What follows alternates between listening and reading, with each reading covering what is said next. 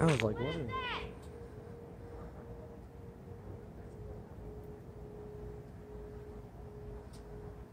Yeah, what? Did Russia just bomb us? Are we about to die?